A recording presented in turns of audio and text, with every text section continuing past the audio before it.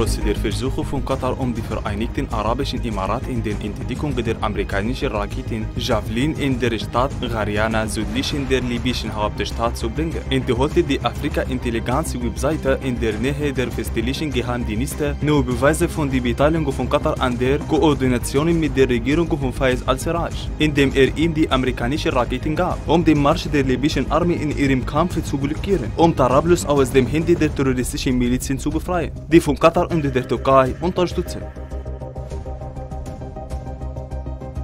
Und die Nachrichtenseite enthielt die Versuche von Al-Hamdin-Organisationen, um die Vereinigten Arabischen Emirate in die Vorwürfe zu verwirken, um diese Raketen in der libyschen Stadt zu finden und die libysche Nationalarmee zu versorgen. Und erklärte die verdächtige Beziehung zwischen Faiz al-Serraj und Michael Solman, ein Barkener von Mercury Firma, für die öffentliche Angelegenheiten und ein leitender Berater des amerikanischen Senators Robert Minden, der forderte, um eine Anfrage über diese Raketen einzuleiten.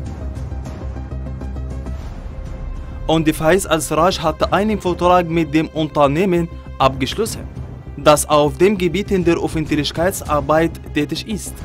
um zu versuchen, um die amerikanische Position vor der libyschen Nationalarmee zu ändern und die Situationen zu seinen Genüssen und zu Genüssen seiner Milizen zu finden, die von Katar und der Türkei unterstützen.